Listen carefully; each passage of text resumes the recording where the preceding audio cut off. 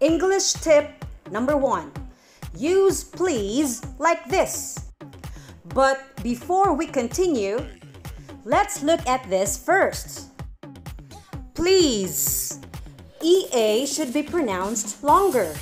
We can trace it from these symbols. They have the same sound, while S sounds like Z and E becomes silent. Therefore, it please. Let's say it again. Please, please, please. Now let's take a look at these examples. Please subscription. Please subscribed. Please subscribes. Are they all correct or wrong?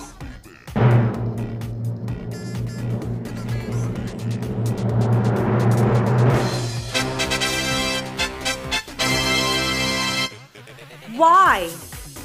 Because when you use please, you have to pair it with the main verb. So the correct one is please subscribe. Let's have more examples. Please cook. Please listen. Please read. Please stop. All these verbs are in the present form.